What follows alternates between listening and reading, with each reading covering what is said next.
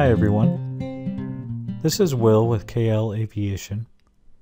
And in this lesson, we're going to look at the maximum elevation figure, or MEF, found on sectional aeronautical charts. Now the MEF is a minimum altitude that you can fly for a given quadrant and still clear all obstacles within that quadrant.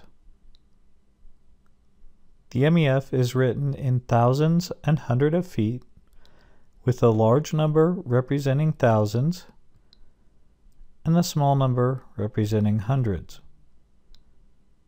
If the altitude is over 10,000, there will be two large numbers and one small number. To read the MEF, simply add two zeros to the end of the number. In this case, 4,000. Now let's take a look at how MEFs are calculated. MEFs are calculated for each quadrant bounded by latitude and longitude lines on the sectional aeronautical chart.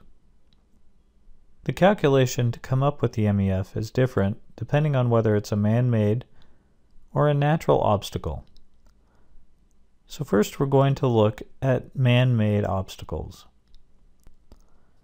In this quadrangle, we can see that the maximum elevation figure is 2,600 feet.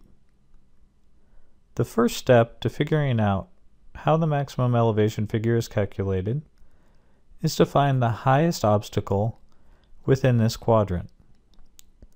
The highest obstacle happens to be these towers down here at 2,463 feet.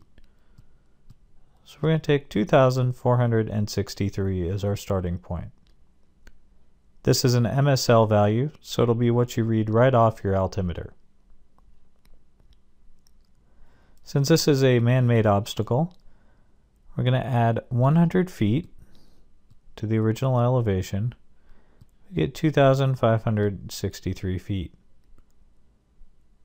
Next, we're going to round up to the nearest hundred, which gives us 2,600 feet which matches the maximum elevation figure for this area. Now let's see what happens when we look at natural obstacles. We're going to come south just a little bit here. And now we're going to look at this quadrant right here. Now this quadrant has nothing but natural obstacles in it. And we can see that the maximum elevation figure is 7,200 feet. Now we're going to start off the same way. We're going to find the highest elevation, which happens to be 6,850 feet. And we're going to start there. Now we're going to add 100 feet, just like before.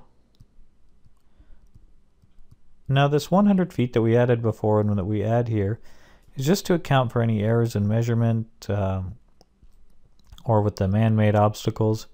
If the uh, developer changed the plans just a little bit and didn't notify the FAA or anything like that where there's just a little bit of error in the original measurement.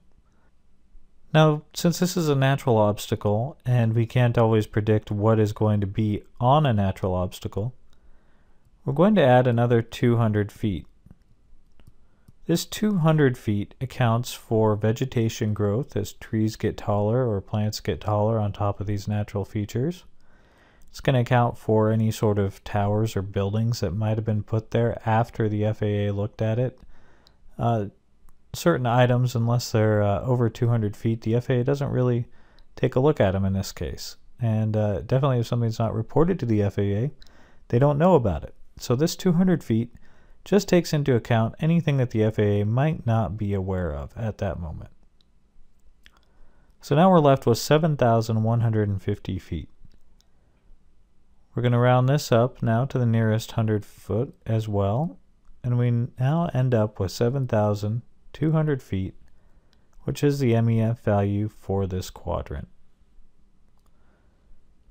Now there are some instances that are very rare where you're going to add more than the 100 feet here.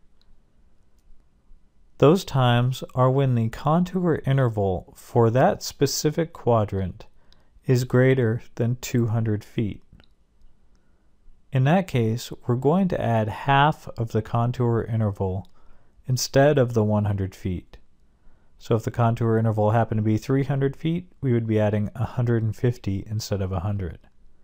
Now this is calculated per quadrant and has nothing to do with the contour interval that you'll see on, on the chart legend.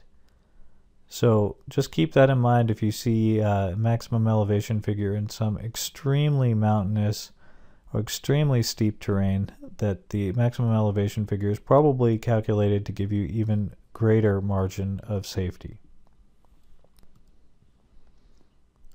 Now MEFs are a strictly VFR number. They're not to be used for IFR planning. They could be used in an emergency situation when you need to know absolutely how low you could go to clear all of the obstacles within a given area, but they are strictly a VFR number.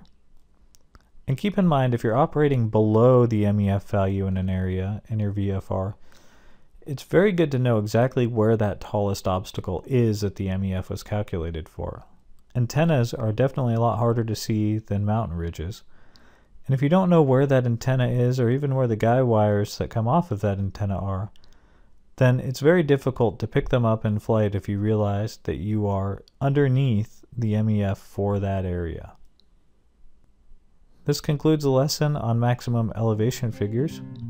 I hope you learned something, and I look forward to seeing you again in another KL Aviation